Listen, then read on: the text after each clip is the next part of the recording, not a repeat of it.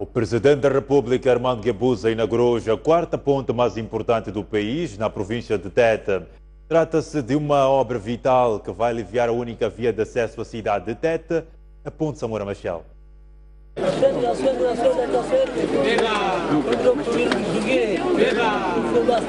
À boa maneira moçambicana, os líderes tradicionais abriram caminho a Armando Guebuza para a inauguração da segunda ponte sobre o rio Zambeze em Tete.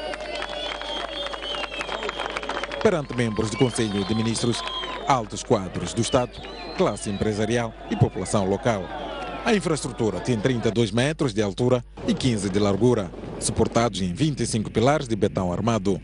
Além de betão, a obra é sustentada por 1.595 tabuleiros, 80 estacas, 705 toneladas de aço e 70.350 metros quadrados de cofragem. A ligação tem duas faixas de rodagem, uma para cada lado. A extensão é de 1 km e 560 metros, o que confere à nova via o estatuto de quarta ponte mais importante do país, depois de Armando Guebuz, entre Tete e Sofala, Ilha de Moçambique, na província de Nampula, e Dona Ana, em Sofala. O primeiro grande impacto, que é nacional, é o descongestionamento de viaturas pesadas dentro da cidade e, por via disso, dinamizar o desenvolvimento agrário e mineiro nesta zona que, como sabemos, está em franco crescimento. Uh, o segundo, ainda dentro do, do, do, do âmbito nacional, é, é, a redução do tempo de viagem dentro da própria cidade de Tete. Por decisão do Conselho de Ministros, a infraestrutura ganhou o nome de Ponte Caçoente em memória de uma base militar aberta pela Frelimo durante a luta de libertação nacional no distrito de Maravia, em Tete. O retorno do investimento de 80 milhões de euros será assegurado por dois pontos de portagem aqui instalados. É também, em termos económicos e sociais, um grande empreendimento. Sobretudo porque, através da construção, tivemos a oportunidade de dar emprego direto a cerca de 600 trabalhadores nacionais.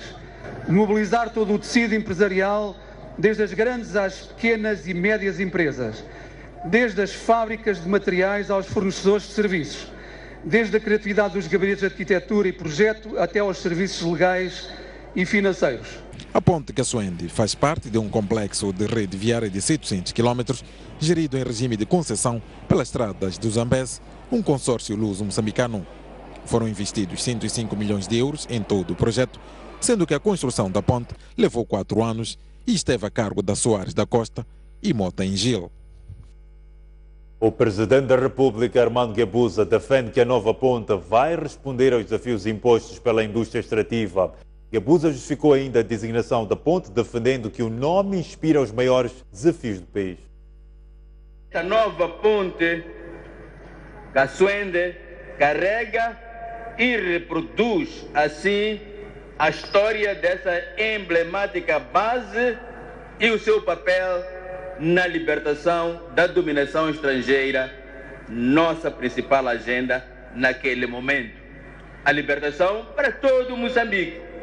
Caçoende, igualmente, carrega os fundamentos da nossa agenda da atualidade, a agenda de combate contra a pobreza e pelo nosso bem-estar.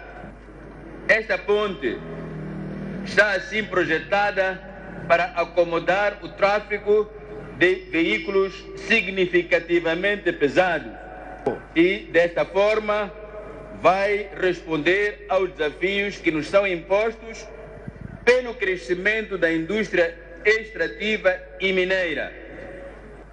Por aqui, possivelmente, não somente passa a carga, e antes da carga, as pessoas que vão para o Malawi, para o Zimbábue, e pessoas que circulam dentro do nosso país, mas também por aqui, certamente que também um dia passará o carvão